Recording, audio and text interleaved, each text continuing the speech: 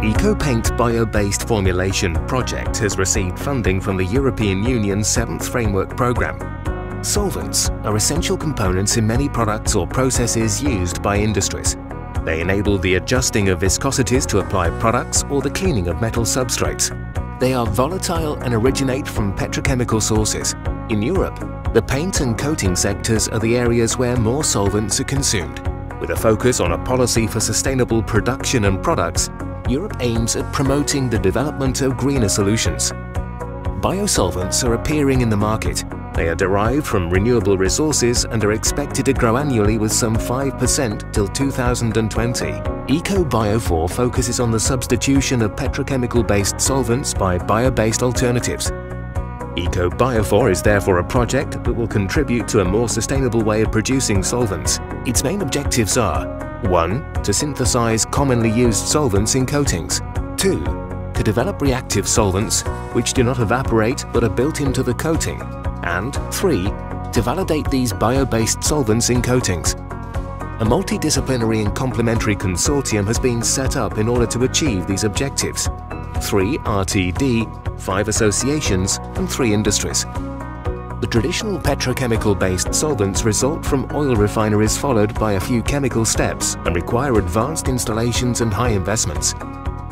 As an alternative route, ECOBIOFOR will build on use of renewable starting materials, synthesis routes according to green chemistry, paint formulations with reduced VOC emissions, two different approaches have been developed the first strategy for synthesizing solvents is via chemical transformations with eco-friendly and easy processes and methodologies.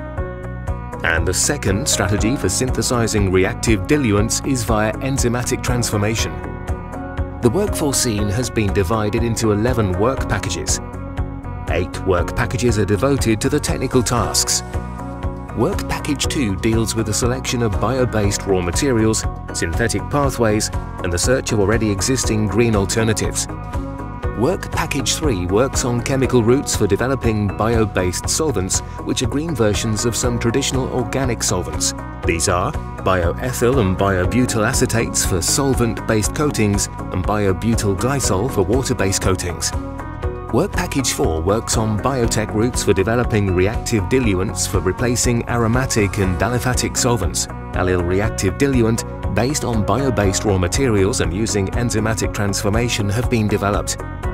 As a result, ECOBIOFOR has obtained bioethyl acetate with high purity which can be used in any solvent-borne paint formulation biobutyl acetate which can be used in some solvent-borne formulations, and biobutyl glycol which is suitable to function as a coalescent for any waterborne paint formulation.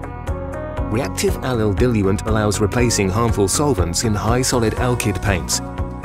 Demonstration activities have been carried out producing bio-based formulations in comparison with homologous petrochemical versions.